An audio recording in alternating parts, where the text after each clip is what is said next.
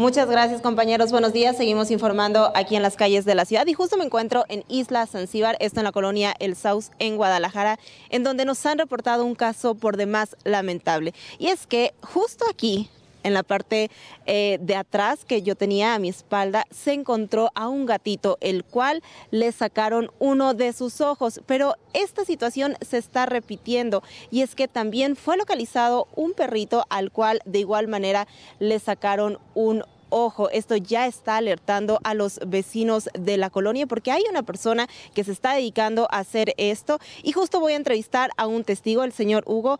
¿Cómo está? Muy buenos días. Usted fue el que encontró al gatito, ¿verdad? Sí, a mí me tocó verlo. Eh, yo iba pasando por aquí y el, gatito estaba eh, tirado en la, en la, calle y estaba con sangre y tenía el ojo ya salido de su, de su órbita.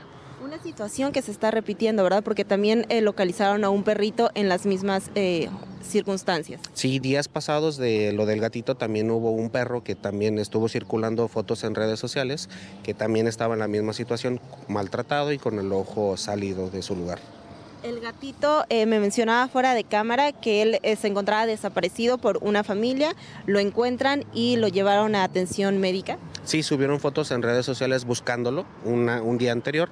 Eh, le toman foto al gatito cuando estaba herido y los dueños se dieron cuenta que era el mismo gatito, era su mascota. Vinieron, lo recogieron y se lo llevaron al veterinario. Oiga, señor Hugo, y como vecinos, ¿ustedes qué saben? ¿Hay algún sospechoso o algo sobre la persona que está haciendo esto? Pues hay varias personas en situación de calle que a veces se ponen agresivas, se pelean entre ellos mismos o pelean con las demás personas eh, y pues piensan o se cree que puede ser alguno de ellos, que sea el que esté haciendo el maltrato hacia los animales. Perfecto, muchas gracias.